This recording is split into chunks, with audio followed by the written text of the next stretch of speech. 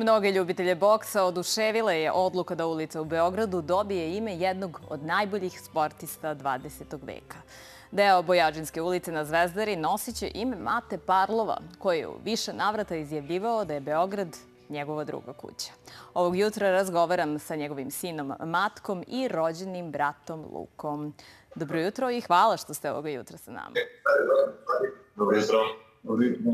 Matko, ako se ne varam, ovo će biti treća ulica na prostoru bivše Jugoslavije koja će poneti njegovo ime. Gde se nalaze prve dve? Jedna ulica se nalazi na Zagrebačkoj Kajzerici, a druga se nalazi u Biogradu na moru. Luka, vi ste nedavno bili u našem glavnom gradu na svetskom bokserskom prvenstvu.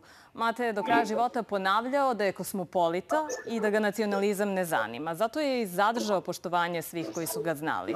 Da li se slažete s tim? Slažem se.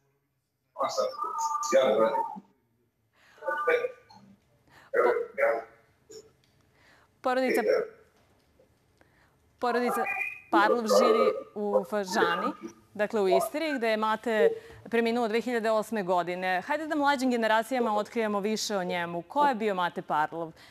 Evropski, svetski, olimpijski šampion, zvali smo ga levoruki bombarder. Matko, da li ste i vi trenirali boks?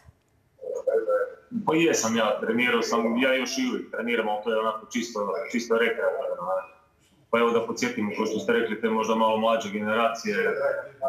Mate Parlov je jedini boksač u povijesti tog sporta koji je u istoj kategoriji njegova je bila polu teška, osvojio sve moguće titule, što u amaterizmu, što u profesionalizmu. Jel?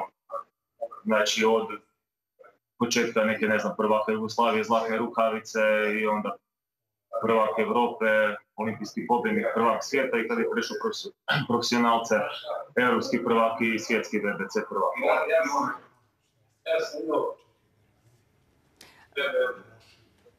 Mate je bio akter jednog od najvećih sportskih spektakala 1967. godine kada je pred 50.000 gledalaca na Marakani, stadionu Crvene zvezde, osvojio titulu evropskog prvaka. Tada je lastom preleteo konopce ringa i skočio u publiku poput najvećih rock zvezda.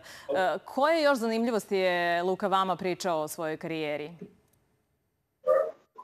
Pa to je bio jedan, recimo što se sad spomenula, 76. godine na Marakani, taj skok u publiku, ta lasta, to je bio jedan od tih najbitnijih njegovih trenutaka, pošto on je recimo bio dosta poznat po tome što on nije pokazivao neke emocije na ringu. A to je bio taj neki trenutak, on je rekao da jednostavno njega publika bodirala kroz cijeli taj meč i on je nekako osjećao se još nešto dužan publici da je htio dati sebe publici i to je na taj način učinio. Jel? Matko, planirate li da dođete u Beograd da prošetate njegovom ulicom?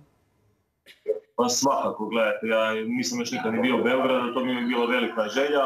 Htio bi svakako proći tom njegovom ulicom i vidjeti taj sportski centar Košutnjaka u kojem je on puno pričao, gdje se pripremao za ta najveća natjecanja, gdje je osvajao te najsjadnije medalje skupa sa izbornikom Brunom Krastinskim, tako da mi je to velika želja i siguran sam da ću doći. Evo.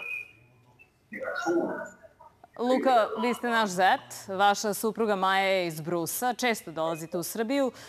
Šta vam kažu ljudi kada kažete da ste njegov brat? Koliko ga se ovde sećaju i kako? Mnogo ga se sećaju u Beogradu i svako me zaustavlja i, i pita sve postoji.